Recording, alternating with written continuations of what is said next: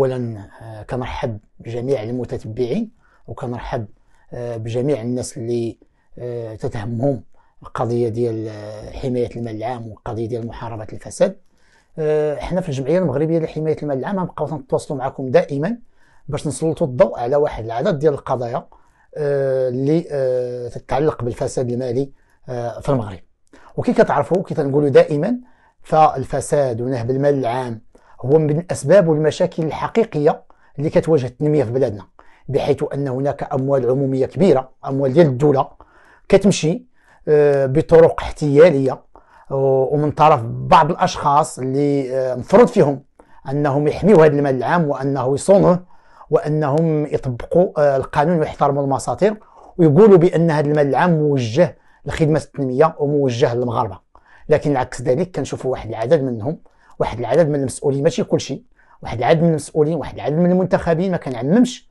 آه كنقول بأن هاد آه بعض هاد المسؤولين وبعض هاد المنتخبين تيفضلوا أنهم يعبتوا بهذا المال العام وأنهم يدوروا واحد العدد ديال الطرق ديال الاحتيال وديال التدليس باش آه، يدخلوا هذا المال العام في جيوبهم واستثمروه لفائدتهم الشخصية. باش توصل للبرلمان وباش يكون وزير وباش يكون رئيس جماعة ورئيس مؤسسة فهذا الشيء كله تيخول ليه أنه يحمي مصالحه ويكون واحد العدد ديال العلاقات اللي تخليه هذيك المصالح تحمى وتستمر.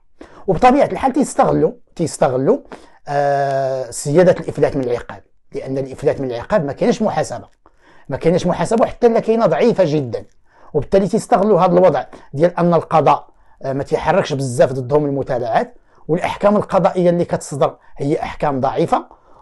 وتيستغلوا واحد العدد ديال المواقع وديال الامتيازات باش يوفروا الحماية لراسهم وباش ما يوصلوش للقضاء وباش ما يتحكمش عليهم. لكن اليوم كنقول بأن أمثال هؤلاء اللي كتحوم عليهم هاد الشبهات الفساد واللي مورطين في الفساد تيخص الأحزاب السياسية تحمل المسؤولية ديالها. وانتخابات على الأبواب انه ما تعطيش التزكية وترشح بحال هاد الوجوه اللي هما من الاسباب الرئيسية اللي جعل المغاربة يفقدوا الثقة في السياسة ويفقدوا الثقة في الأحزاب. أنا ما كنعممش كنقول بعض الأحزاب السياسية وتنقول بعض المرشحين وبعض المسؤولين. وبالتالي أنا ما عمرني عممت وحنا في الجمعية ضد الخطاب ديال آه التعميم. كتعرفوا بأنه بلادنا كتستنزف فيها 5% من الناتج الداخلي الخام نتيجة سيادة الفساد. وكتمشي 50 مليار ديال الدرهم في مجال الصفقات العمومية نتيجة سيادة الرشوة. وواحد ديال الشباب ديالنا اختار أنه يهاجر على آه، برا عبر قوارب الموت ويفضل الموت على أنه يبقى في البلاد. باش نرجعوا الثقه للمغاربه وباش تكون تنمية حقيقية وباش تكون دولة الحق والقانون وباش الجميع يحس بالكرامة وباش المستقبل ديالنا يطمئنوا ليه المغاربة ويسترجعوا الأمل ويسترجعوا الثقة في المؤسسات خاصنا نقطعوا مع الفساد ومع نهب المال العام ومع الرشوة. وتيخص المفسدين والناهبين المال العام ما يتسامحش معاهم القضاء.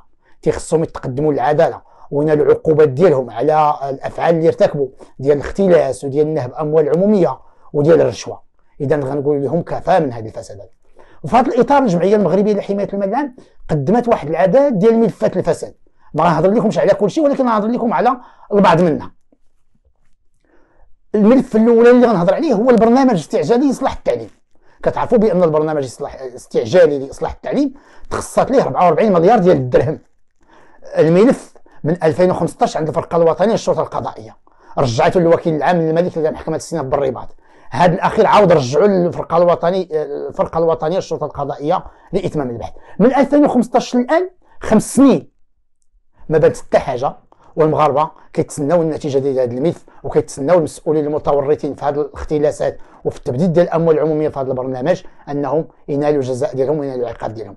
الملف الثاني هو ملف ديال بلديه الهرهورة. هذه بلديه الهرهوره قدمنا فيها الشكاية منذ 2017 مازال ما خدا فيه حتى قرار إلى حد أن الرئيس ديال هذه البلدية توفى آه، رحمة الله عليه دون أن ينال المتورطون الجزاء في هذا في هذا في هذا الملف هذا كاين ملف الآخر هو ملف ديال بلدية بن صالح هذا الملف هذا من الملفات اللي آه، طرت عليه ضجه وكثرت عليه الهضرة بشكل كبير.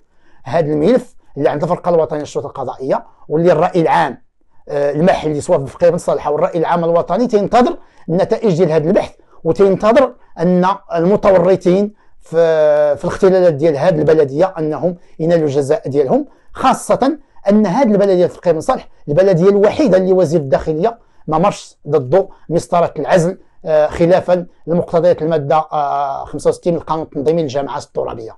كاين ملف آخر هو ملف ديال الكرة الكرة في مراكش.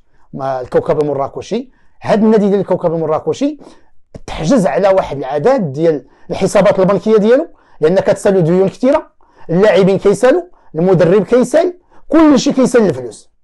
وهذه الفرقة من 1997 ما عمرها ولا 96 ما عمرها دات شي لقب.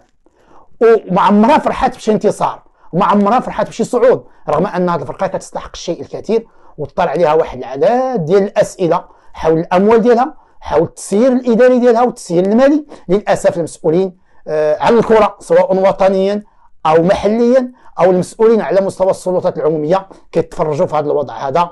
كذلك هناك آه، ملف أخيرا أخيرا اللي هو قضية كازينو السعدي اللي هي قضية آه، قضية كبيرة واللي تبعناها في الجمعيه المغربيه لحمايه المال العام منذ بدايتها. 13 سنة استغرقت ما بين البحث والتحقيق والمحاكمة. هذا الخميس هذا اللي فات صدر فيه حكم قضائي. هذا الحكم هذا اللي آه فعلا هو حكم إيجابي وخلف ارتياح عند آه الرأي العام. نتمنى أن القضاء يكون حازم في التصدي للفساد وما يتساهلش مع المرتشين وما يتساهلش مع المفسدين وما يتساهلش ما يتساهلش مع ناهبين المال العام. المغاربة كينتظروا من القضاء أنه يكون حازم ويكون صارم ويصدر عقوبات رادعة ضد المفسدين وناهبين المال العام هذه الجرائم ديال المال العام.